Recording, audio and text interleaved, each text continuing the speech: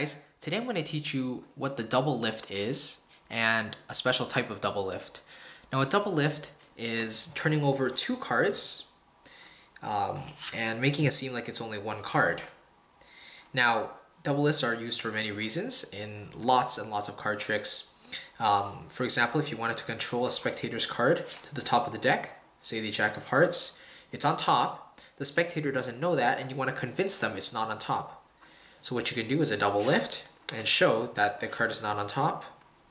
And you can also show it's not on the bottom. All right.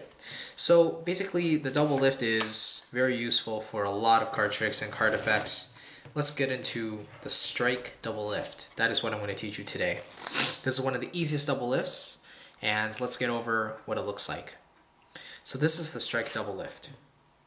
All right, showing the joker, turning it back over. In reality, the top card is actually the Ace of Spades.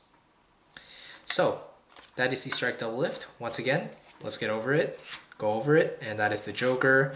And in reality, the top card is the Ace of Spades. See, the Joker's in the second position. So let's talk about how to do the strike double lift. What you're going to do is start by holding the deck in the mechanics grip, like so. So your thumb is on the side, index uh, right on top, followed by the three fingers. And what you're going to do is put your thumb on the center of the deck. So from here to here. What you want to do is push down. And what this will do is you can see it slightly bends the cards. So you get this nice um, bending over here on this side, right? Now this, what this will allow you to do is once you press down, you're going to come over with your other hand and use your index finger or third finger, it doesn't really matter, but uh, use either finger to riffle up. So run your finger up the deck until you feel two cards. Now, I can't really explain what two cards feels like as you'll have to experience this yourself. But what you want to do when you press down, just riffle off slightly, maybe the very top of the deck until you feel two cards. So in this case, I know I have two cards under my finger, right? So once again, you press down, come over with your index finger near the bottom. That's what I do. And I move my pinky out of the way, insert my index, and I know this is two cards right here. So you're, you're just uh, riffling up until you feel two cards. This is two cards. Now I bring my middle finger in and bring it below the cards, the two cards, like so. My thumb just goes on the corner.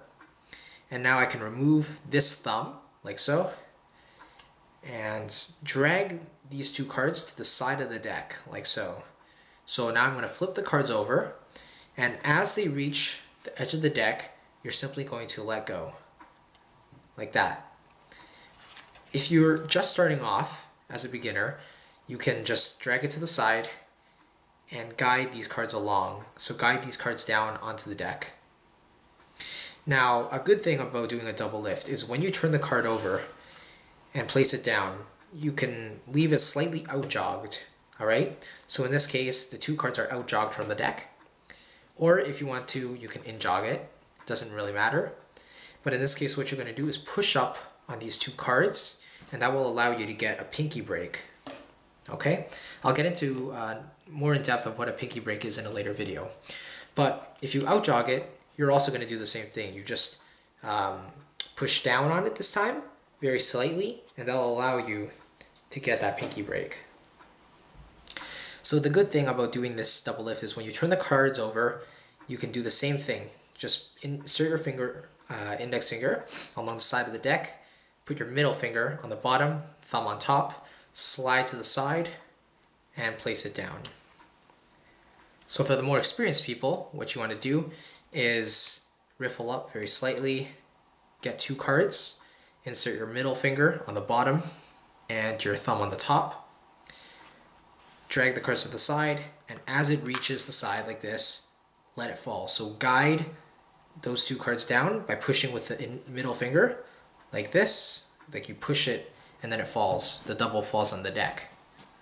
Now what I like to do in this case is because um, because the concave or the face-up cards are facing a different direction than the face down cards, there's going to be a slight um, bend to the cards. So it's going to be easy to get that break that you want, right, underneath two cards. So what I like to do sometimes is not even get that break. You can just do the strike double lift again, like so, and turn it back over. Or what I like to do is push over those two cards as one card and then flip it over. That's pretty risky, but if you're willing to do it, then it's a good option. Push two, turn over. I'll show you that double lift in a later video. I think it's one of the most convincing out there. But this video was the strike double lift. I hope that helped. Once again, I'll show you what it looks like. The Queen of Spades, and that is it. The top card is actually the Ace of Hearts.